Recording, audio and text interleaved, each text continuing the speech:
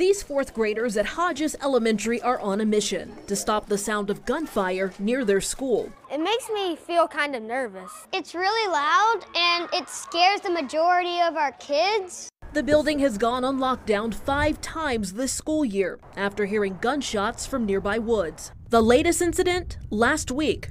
We have to grab two big books, put it in our book bags, and cover our, um, our chest and our stuff up.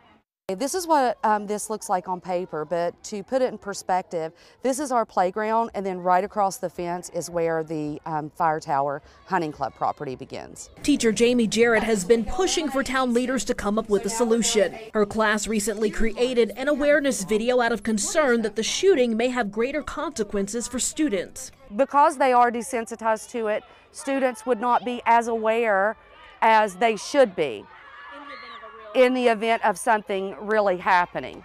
I contacted the Fire Tower Hunting Club. Last year, the club says they restricted hours for hunting to address the school's concerns.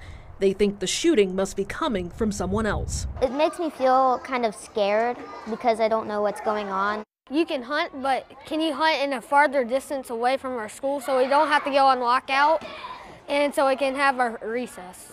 In Greenwood County, Dana Griffin, WYFF News 4.